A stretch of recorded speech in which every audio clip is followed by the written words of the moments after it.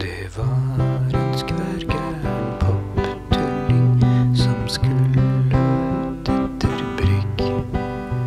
Han skulle visst ut etter brygg. Han skulle visst ut etter brygg, etter brygg, etter øvel. Tralala. Han skulle visst ut etter brygg. Til konen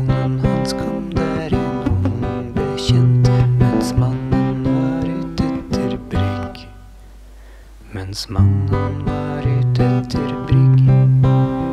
Mens mannen var ute etter brygg, etter brygg, etter rødøl. Tralalala. Mens mannen var ute etter brygg. Så pulte han konen med tissen sin fordi han var klar for et lygg. Mens mannen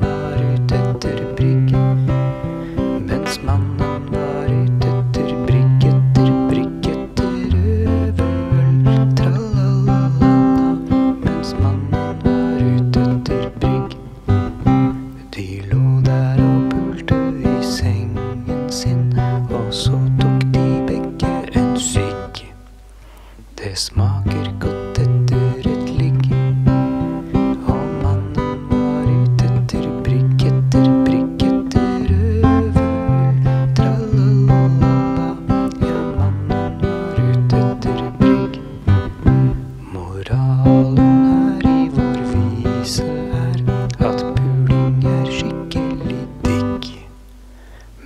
Tek istalo